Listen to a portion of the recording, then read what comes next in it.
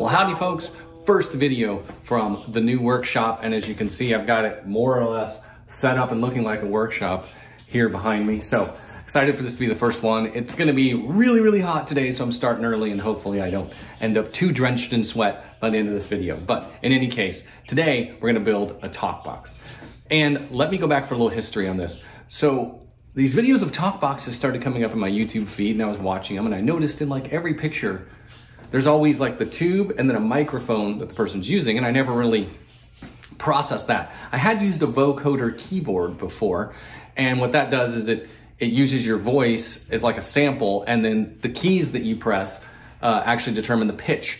So I thought it was similar uh, of how talkbox worked, but that's not how it works at all. So I did some research and I found out like my mind was blown, guys. A talk box, actually the way it works, it's like a pedal, right? But when you turn it on, it turns off the signal going to your amp. And instead, inside the talk box, it sends it to a small speaker that's inside the talk box. And that speaker is hooked to the tube and goes up into your mouth and your head becomes the resonator for the speaker. And so the microphone is there to pick it up. So if you didn't have the microphone, you wouldn't hear anything.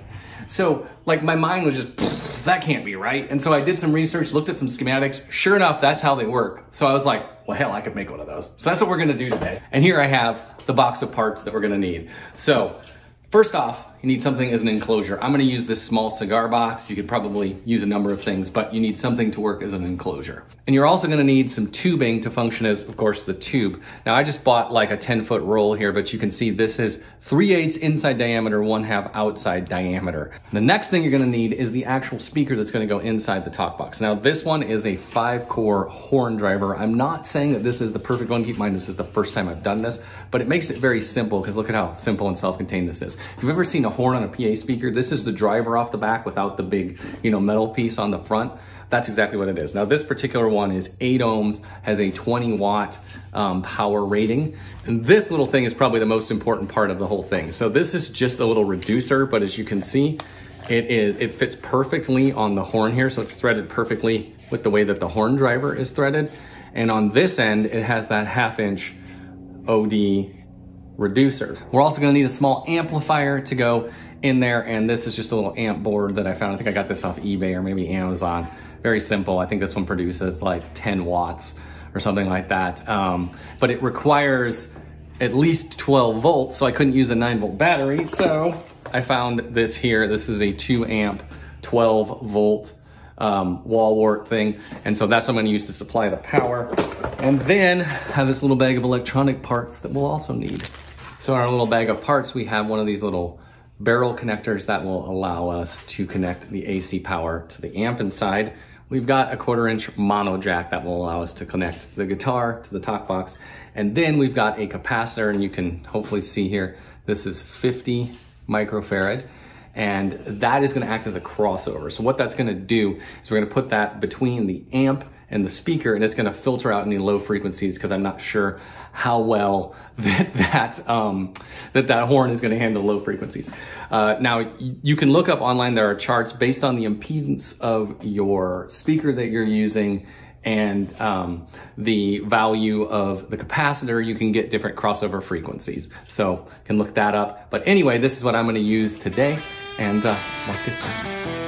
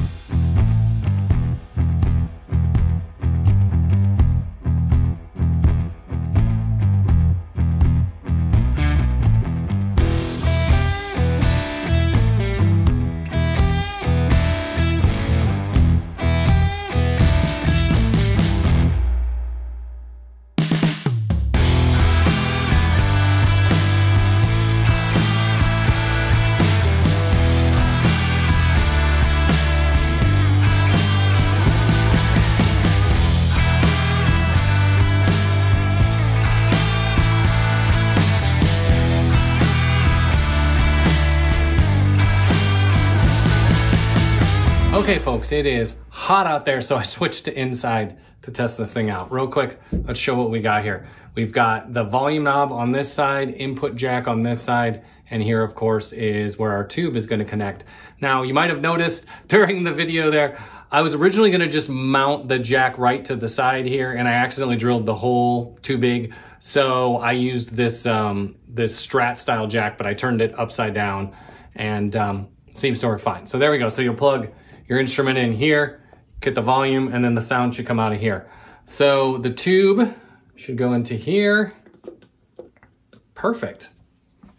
There we go. Now I should be able to do this kind of thing and uh, get some sound. So let's test it out. Okay, so here we go. Let's give this baby a little test. I got the keyboard. The keyboard is plugged into the talk box.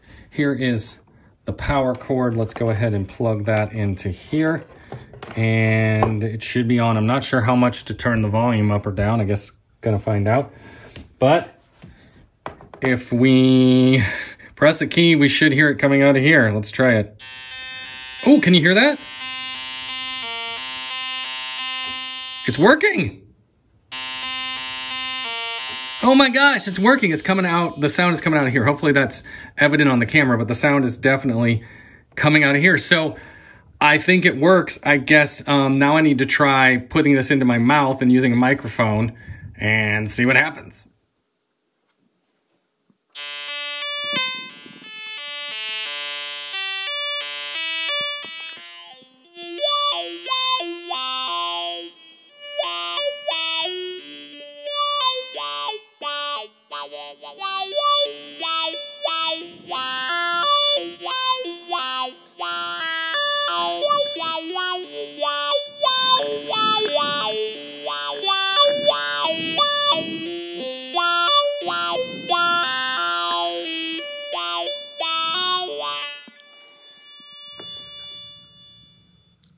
Well, that was pretty cool.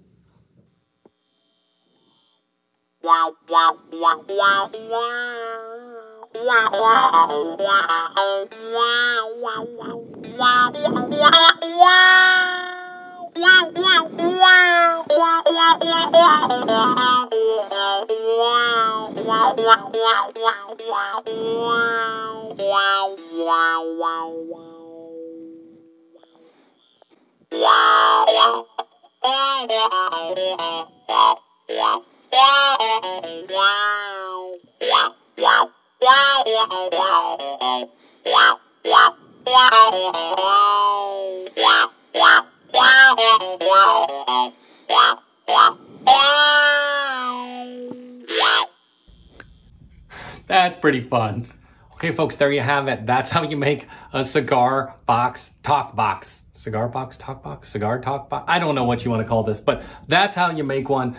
Pretty simple and straightforward. You've got a horn driver, you've got a reducer here, some sort of uh, tubing, and then you've got basically a little amp circuit inside of there. Now, one thing I will mention, when I did this with the keyboard, it worked really well. Like the internal amp was about the right volume. When I did it with the guitar, it was really quiet um, even when I had this cranked all the way up. So what I did is I put a clean boost between the guitar and the talk box just to boost the signal up a, a little bit. And I actually, is a clean boost, but I actually dirtied it up a little bit to try to give it a little grit. So that's why you probably got a little bit of that grit effect. But it actually worked really well with the boost there. Got it just right. So in any case, I am pretty impressed by this. And I still think it's pretty amazing that this thing uses your head as a resonator. Crazy. I'll have to do some more experiments with this. But for throwing it together, I'm really pleased with how this came out. If you like what I do on this channel, I'd really appreciate it if you'd hit that subscribe button for me. And if you like this video, feel free to give it a thumbs up. I'll be back soon.